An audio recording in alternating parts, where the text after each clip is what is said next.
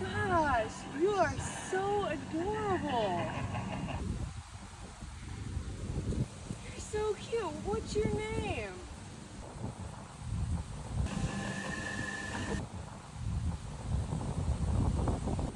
My name is Jeff.